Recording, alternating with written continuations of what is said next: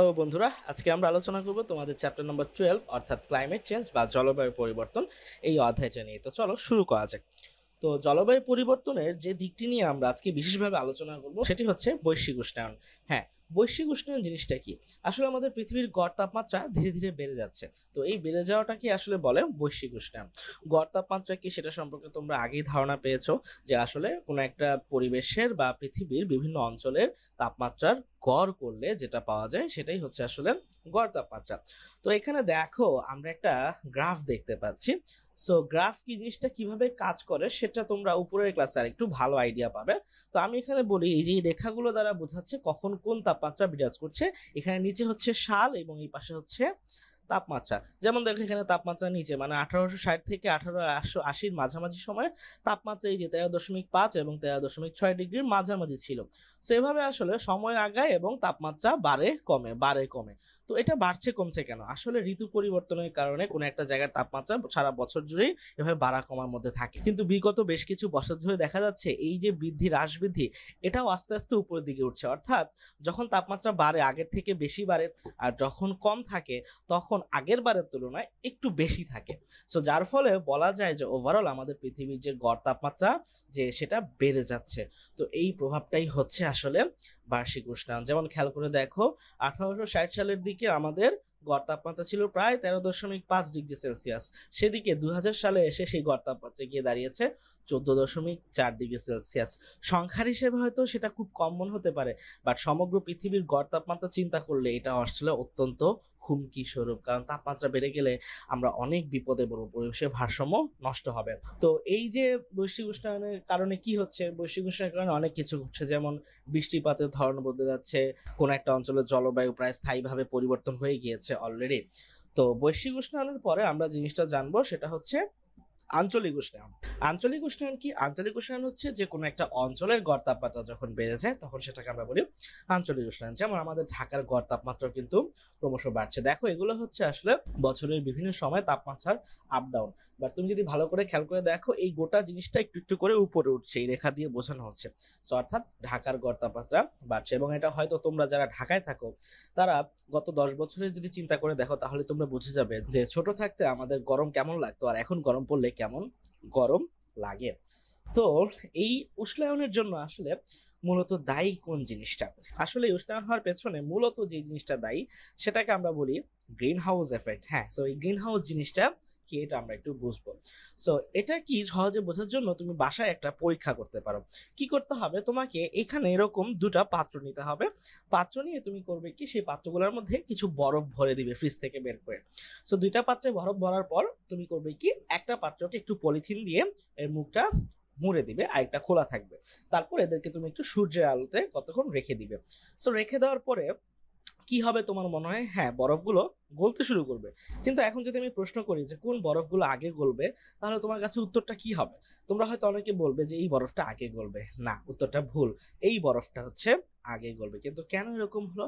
কারণ যেটা হয় যে পলিথিনে মোড়ানো থাকার কারণে সূর্যের যে তাপটা, এর মধ্যে খুব সহজে প্রবেশ করতে পারে, কিন্তু বের হয়ে যেতে পারে না। মানে পলিথিন তাপটাকে আটকে রাখে, যার ফলে এর ভেতরে থাকা বরফগুলো বেশি গরম হয় এবং গরম হয়ে দ্রুত গলে। অন্যদিকে এই পাত্রটা খোলা থাকার কারণে এটা তাপ শোষণ করে এখানেও বরফটা গলতে থাকে বাট তাপটা যেহেতু আটকে থাকে না এখানে, তাই এখানে বরফগুলো দেরিতে গলে। তো এইরকম প্রভাবটাকেই আসলে আমরা বলি গ্রিন হাউস প্রভাব। তো তোমাদের মনে হতে পারে যে এটার নাম কেন গ্রিন হাউস হলো, তাই না? কারণ এক্স্যাক্টলি এই টেকনিকটাই ব্যবহার করা হয় শীত প্রধান দেশে ফসল উৎপাদনের জন্য। হ্যাঁ শীত প্রধান দেশে তো অনেক ঠান্ডা, সেখানে ফসল ভালো জন্মাতে পারে না। তো সেখানে করা হয় কি যে এরকম কাচের তৈরি একটা ঘর বানিয়ে তার মধ্যে ফসল উৎপাদন করা হয়। এই কাজটাও আসলে এখানে পলিথিনের মতো কাজ করে। যার ফলে হয় কি, সূর্যের আলো যখন এই কাচের ঘরের মধ্যে প্রবেশ করে, তখন ভেতরে সবকিছু গরম হয়, পর্যাপ্ত তাপ পায় বাট এই তাপটা বের হয়ে যেতে পারে না। মানে এক কথায় তাপটা সঞ্চিত থাকে এই ঘরের মধ্যে, যার ফলে প্রচণ্ড ঠান্ডাতেও এই ঘরের মধ্যে ফসল উৎপন্ন করা যায়। আর যেহেতু এখানে সবুজ উদ্ভিদ ফলানো হয়, তাই এই ঘরটার নাম হচ্ছে সবুজ ঘর। বা গ্রিন হাউস আর এভাবেই গ্রিন হাউস নামটা এসেছে। তার মানে গ্রিন হাউস এফেক্ট হচ্ছে এমন একটা এফেক্ট যার মাধ্যমে তাপকে ধরে রাখা হয়। তো এরপর আমরা যে সম্পর্কে জানব সেটা হচ্ছে গ্রিন হাউস গ্যাস হ্যাঁ এটা আবার কি? আসলে আমাদের পৃথিবীর যে বায়ুমণ্ডল, সেই বায়ুমণ্ডলটাও না আসলে এরকম কাচের গ্লাসের মতো কাজ করে। মানে এটা তাপ ধরে রাখতে পারে। সো এই কারণে যেটা হয়, আমাদের পৃথিবীও একটা বিশাল বড় গ্রিন হাউস এফেক্টের মধ্যে পড়ে যায়। তো যে গ্যাসগুলো আসলে এর জন্য দায়ী, তাদেরকে আমরা বলি আসলে greenhouse gas. So greenhouse gas গুণগুলো যদি সেগুলো বলি, তার মধ্যে সবার প্রথমে এবং সবচেয়ে বেশি রয়েছে যেটা, সেটা হচ্ছে কার্বন ডাই অক্সাইড আমরা জানি আমাদের প্রকৃতিতে কার্বন ডাইঅক্সাইড আছে এবং এই কার্বন ডাই অক্সাইডের মাত্রা যখন বেড়ে যায়, তখনই বিপদটা শুরু হয়। কি হয়? যেহেতু পৃথিবীর চারপাশে কার্বন ডাইঅক্সাইড গ্যাসের একটা স্তর রয়েছে, এই কার্বন ডাই অক্সাইডটা সেই পলিথিনের মতো কাজ করে, যার ফলে সূর্য থেকে তাপ যখন আমাদের পৃথিবীতে আসে, সেটা আমাদের পৃথিবীতে ঢুকতে পারে সহজে। বাট সেই তাপটা যখন বেরিয়ে যাওয়ার চেষ্টা করে, এই গ্রিন হাউস গ্যাসের কারণে সেই তাপটা বের হয়ে যেতে পারে না। যার ফলে আমাদের পৃথিবীর ভেতরে ক্রমেই তাপ সঞ্চিত হচ্ছে এবং আমাদের পৃথিবীর তাপমাত্রা ক্রমেই বেড়ে যাচ্ছে। সো গ্রিন হাউস গ্যাসটা না থাকলে কি হয়? যেটা হয় দিনের বেলা পৃথিবী গরম হয় বাট রাতের বেলা সেই তাপগুলো আবার বের হয়ে মহাশূন্যে ছড়িয়ে ছিটিয়ে যেতে পারে, যার ফলে আমাদের প্রকৃতি আবার ঠান্ডা হতে পারে। বাট গ্রিন হাউস গ্যাস আমাদেরকে ঠান্ডা হতে দিচ্ছে না, আর যার কারণেই আমাদের বৈশ্বিক উষ্ণায়ন ঘটছে। সো এই যে ঘটনা, এই ঘটনাটাকে আমরা বলি গ্রিন হাউস এফেক্ট বা গ্রিন হাউস প্রভাব। আর এগুলো ঘটানোর জন্য যে গ্যাসগুলো দায়ী, সেগুলো হচ্ছে গ্রিন হাউস গ্যাস।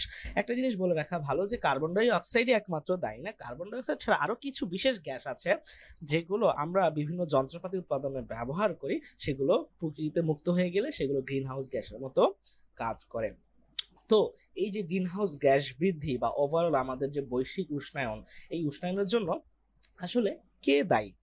এই বৈশ্বিক উষ্ণায়নের জন্য আসলে প্রত্যক্ষ পরোক্ষভাবে আমরা মানুষরাই দায়ী। যেটা হয়, আমরা শিল্প কারখানা স্থাপন করছি, যার ফলে অধিক পরিমাণে কার্বন ডাইঅক্সাইড বাতাসে যুক্ত হচ্ছে।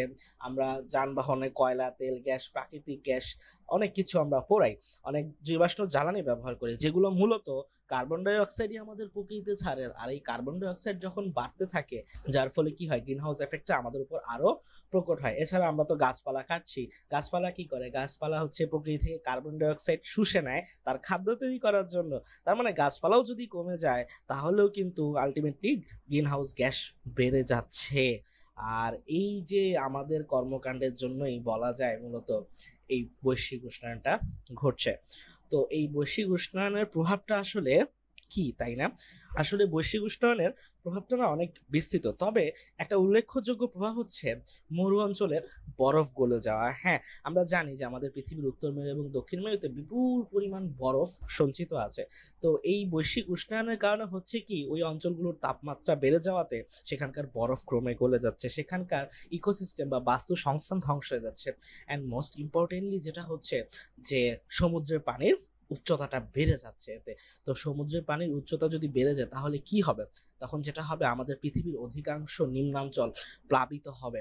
আমাদের বাংলাদেশও কিন্তু এর বাইরে না আমাদের বাংলাদেশ কিন্তু মোটামুটি নিম্নাঞ্চল বলা যায়, দক্ষিণ পশ্চিমাঞ্চল আর কি। তো যেটা হবে, বিজ্ঞানীরা হিসাব করে দেখেছেন যে, এইভাবে যদি চলতেই থাকে, তাহলে কি হবে? আমাদের বাংলাদেশের প্রায় এক তৃতীয়াংশ পানির নিচে তলিয়ে যাবে, কতটা ভয়ানক, তাই না? তো তার মানে বুঝতে পারছি যে বৈশ্বিক উষ্ণায়ন কিন্তু খুবই হুমকি স্বরূপ আমাদের জন্য। তো এখন এই বৈশ্বিক উষ্ণায়ন বা ওভারঅল আমাদের জলবায়ু পরিবর্তনের আর কি কি ঝুঁকি আছে? আরও ঝুঁকিগুলোর মধ্যে উল্লেখযোগ্য হচ্ছে যে ঘূর্ণিঝড়, জলোচ্ছ্বাস, বিভিন্ন প্রাকৃতিক দুর্যোগের মাত্রা বেড়ে যাবে, হঠাৎ ভারী বৃষ্টিপাত বা আকস্মিক বন্যা দেখা দেবে। খেয়াল করে দেখো, আমরা কিন্তু এগুলো এখন দেখছি, হঠাৎ হঠাৎ সিজন ছাড়া বৃষ্টি হচ্ছে, তাই না? তারপর হচ্ছে বৃষ্টিপাতের পরিমাণ কমে, খরা দিবে, কখনো কখনো সমুদ্রের পানি উচ্চতা বৃদ্ধি পাবে এবং নদীর পানিতে লবণাক্ত পানি প্রবেশ করবে। আমরা জানি যে লবণাক্ত পানিতে কিন্তু সব উদ্ভিদ প্রাণী বাঁচতে পারে না, তাহলে বুঝতেই পারছ কি অবস্থাটা হতে যাচ্ছে আমাদের। তো এই জলবায়ু পরিবর্তন মোকাবেলা করার জন্য আমরা কি করতে পারি? এটার জন্য আমরা দুইটা কৌশল অবলম্বন করতে পারি। এক, জলবায়ু পরিবর্তনের হার কমানো। দুই, জলবায়ু পরিবর্তনের সাথে খাপ খাওয়ানো বা অভিযোজন ঘটানো। সো এই দুইটা পয়েন্ট নিয়ে আমরা একটু আলোচনা করি। সো জলবায়ু পরিবর্তনের হার কমানোটাই সবচেয়ে প্রধান কাজ। তো আমরা এটা কীভাবে করতে পারি? আসলে জলবায়ু পরিবর্তনের প্রধান কারণই হচ্ছে বায়ুমণ্ডলে কার্বন ডাই অক্সাইডের পরিমাণ বৃদ্ধি করা। আমরা নিঃশ্বাসের সাথে কার্বন ডাই অক্সাইড ছাড়ছি, আমরা জীবাশ্ম জ্বালানি ব্যবহার করে কার্বন ডাইঅক্সাইড ছাড়ছি। তাই আমাদের যেটা করতে হবে, জীবাশ্ম জ্বালানির ব্যবহার কমাতে হবে রিনিউয়েবল এনার্জি বা নবায়নযোগ্য শক্তির ব্যবহার বাড়াতে হবে, যেমন সৌরশক্তি বা বায়ুশক্তি ইত্যাদির ব্যবহার আমাদের বাড়াতে হবে। কারণ এগুলো ব্যবহারের মাধ্যমে কিন্তু প্রকৃতিতে কার্বন ডাই অক্সাইড নির্গত হয় না। এছাড়া আমরা যে কাজ করতে পারি, আমরা বৃক্ষরোপণ করতে পারি। বৃক্ষরোপণ হচ্ছে কার্বন ডাই অক্সাইড নির্গমনের খুবই ভালো একটা সমাধান। কারণ গাছ কি করে? কার্বন ডাইঅক্সাইড শুষে নেয়, বিনিময়ে আমাদেরকে দেয় অক্সিজেন যেটা কিনা আমাদের দরকার। তাই আমরা বেশি বেশি গাছ লাগাবো। তো সেকেন্ড পয়েন্টটা হচ্ছে অভিযোজন। অভিযোজন কি? অভিযোজন হচ্ছে আসলে প্রকৃতির সাথে নিজেকে খাপ খাইয়ে না বা পরিবর্তন ঘটানো, যার ফলে আমরা আমাদের অনাকাঙ্ক্ষিত পরিবেশ পরিবর্তনের সাথে নিজেদেরকে অ্যাডাপ্ট করে নিতে পারি। যেমন ঘরবাড়ি, বিদ্যালয়, কারখানা ইত্যাদির অবকাঠামোগত উন্নয়ন করে বন্যা ও ঘূর্ণিঝড় আশ্রয় কেন্দ্র নির্মাণ করে, যার ফলে বিপদে আমরা সেখানে আশ্রয় গ্রহণ করতে পারি। উপকূলীয় বন সৃষ্টি করা, এটা খুবই ইম্পর্টেন্ট তোমরা হয়তো খেয়াল করে দেখবে, বিগত বেশ কিছু বছরে আমাদের দেশের উপর দিয়ে বেশ কিছু সাইক্লোন বা ঘূর্ণিঝড় বয়ে গিয়েছে বাট কোনোটাতেই তেমন কোনো ক্ষতি হয়নি। কারণ আমাদের দেশের দক্ষিণ পশ্চিমাঞ্চলে আমাদের জন্য সুন্দরবন ছিল। সুন্দরবন আমাদেরকে প্রোটেক্ট করেছে। সো আমরা যদি এরকম উপকূল অঞ্চলে বনবাদের সৃষ্টি করতে পারি, অনেক প্রাকৃতিক দুর্যোগ আমাদের উপর দিয়ে অনেক কম এফেক্ট ফেলবে।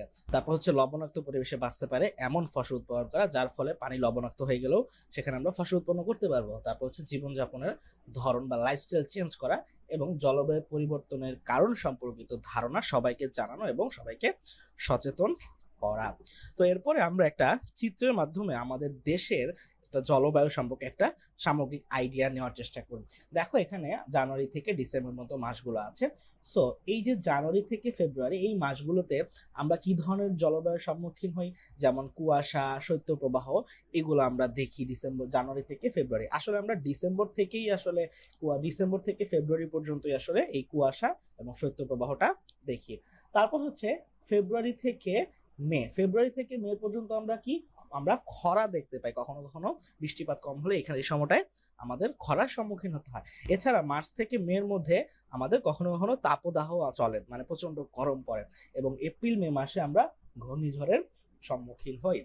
এরপর হচ্ছে জুন থেকে সেপ্টেম্বর। সো এই জুন থেকে সেপ্টেম্বর মাসে কি কি দেখা যায়? এ সময় মৌসুমী নিম্নচাপ তৈরি হতে পারে, বজ্রসহ ভারী বৃষ্টিপাত হয় বা বন্যার সম্মুখীনটা হয়। আমি যখন এই ভিডিওটি করছি, তখন হচ্ছে জুলাই মাস এবং এই সময় বাংলাদেশের মধ্য দিয়ে অনেক বড় আকারের বন্যা যাচ্ছে।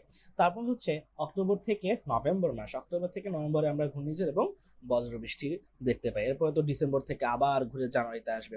মানে এইভাবে তুমি আমাদের বাংলাদেশের জলবায়ু সম্পর্কে একটা আইডিয়া করে নিতে পারো এই ছবিটার মাধ্যমে। তো আমরা এই চ্যাপ্টার থেকে বুঝলাম যে আমাদের পরিবেশের ভারসাম্য রক্ষা করতেই হবে না হলে আজ হোক, কাল হোক আমরা সবাই বিপদের মধ্যে পড়তে যাচ্ছি। সো আজকের মতো এই চ্যাপ্টার আলোচনা এখানে শেষ করে দিয়ে আমি আহসান সাইন অফ করছি। সবাই ভালো থাকো, সুস্থ থাকো। দেখা হচ্ছে পরের অধ্যায়ে। টাটা।